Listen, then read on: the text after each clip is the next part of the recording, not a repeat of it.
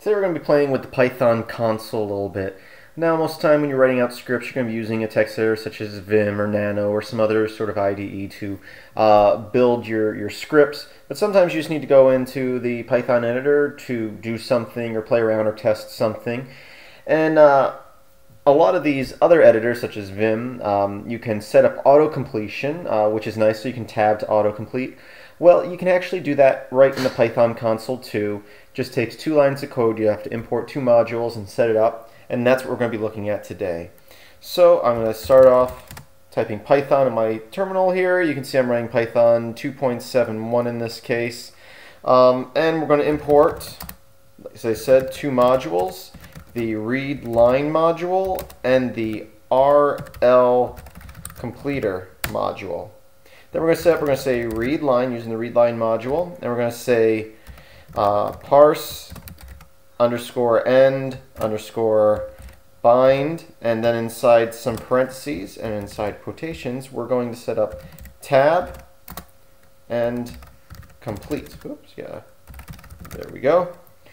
And we're done. Now we can get auto completion. And I should have shown you before how it doesn't work, but you'll see if I type in uh, like IMP and I hit tab, hey, it does import. I didn't import anything, that's why I got that little message there. Uh, but I can also set up a variable. Let's set up a variable. I'll say my var. We'll say this is my var. So we create a variable and we can go, now we can say print, I can type in my and hit tab and you can see it autocomplete so it recognizes variables that you've created. Let's create another variable. We'll call it my second var, and we'll say that equals var number 2. And so now what happens if we say print and we type in m tab, nothing if I double tab though, you can see um, that it gives you both your options, so you can continue typing, I can hit S and hit tab there. So that is how you set up auto completion in the Python console. Real quick, I'll just go over that again, just for those who missed it the first time, just because it was such a short little video. Uh, once again, if I type in IMP and hit tab, nothing happens. You can see it just tabs. So what we're going to do is import read line RL completer. Then we're going to set all that up like so and bind I'm going to say tab complete. And now if I type in IM and hit tab, it does import. I can type in PR and hit tab, and you can see we have different options there. I'll hit I and hit tab, and it does up to print there. Uh, what other things are there? We can say um, uh, WH, I hit tab, and we get while. I'm trying to think of what other things are I can autocomplete without creating some variables. I mean, I can hit I and hit tab, you can see. And also it helps, not even autocomplete, but also quickly gives you uh, a bunch of your options. In that case, you're like, oh, I guess I can do input, I can do import, I can do if. Um, so it also just helps you uh, realize things, uh, features that you may have forgot about or trying to remember. So if I hit EL, you can see I have if, else if or else. So there we go. So I hope you found this little quick tip uh, useful. Once again, you know, majority of the time you're probably going to be writing your scripts inside a uh, editor of some sort. But I do find myself at the Python console sometimes just practicing stuff rather than write out scripts. Uh, it's important to practice your skills if you want to keep them up. And uh, you can also uh, take those two lines, the imported line and the read line, and actually put them into your home folder in a file called uh, dot .pythonrc.py.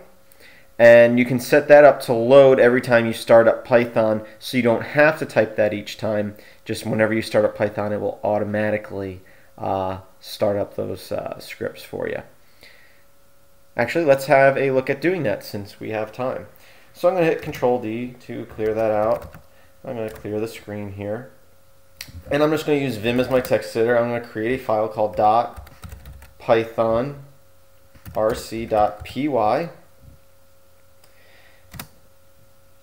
and we're going to say import read line rl completer read line parse and bind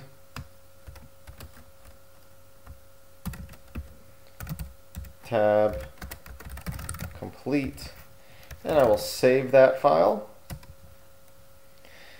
And now what I can do is um, if you note if I type in Python and I type in IM I hit tab it hasn't uh, that that file has not been affected yet um, has not been set up. So what we can do is go export all capital Python startup equals dollar sign home forward slash dot. Oops. Oops. Keep hitting the wrong keys. Here there we go. I was trying to hit backspace and I kept on hitting down pages next to it on my keyboard here. Okay um, python rc.py and we'll hit enter. Now, if I start up Python, I type in IM and hit tab, hey look, autocomplete is going. Now, this export command right here, you now have to put into your bash RC file or regard depending on what uh, command prompt you're using. But in this case, I'm using bash, which is default on many systems. So we'll just say vim dot bash rc As you can see I already have one line in here, and this file is, everything in this file will run every time you start up bash, so I can throw that in there. And now if I close out my terminal, next time I start it up, it will automatically load this line up, and then when I run Python, it will automatically have the autocomplete added in there. And obviously you can add other commands into this uh, Python RC file uh, and have other things run when you start up uh, Python. But I hope you found this tutorial useful. Uh, please visit filmsbykris.com. That's Chris with a K. There should be a link in the description. And I hope that you have a great day.